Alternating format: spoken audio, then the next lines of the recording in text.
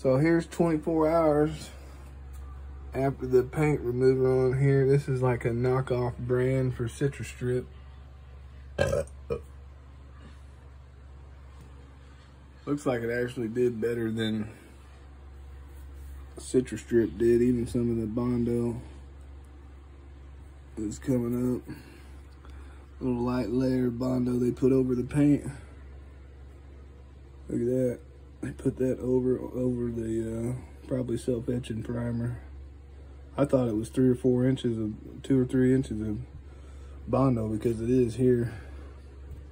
That's thick Bondo. But they put this over the uh, paint, self-etching primer. All the way up, get all that off. And then here's the one. I'll have to spray it again and get that off there. And the bumper. Didn't look like it did too much to this again. It's these little heavy spots where it's already heavy. The rest of it, kind of nothing. Really? Did you find that out all by yourself?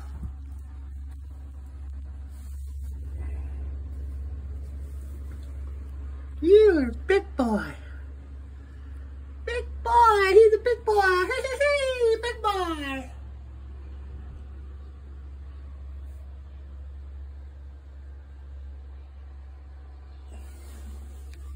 Hey,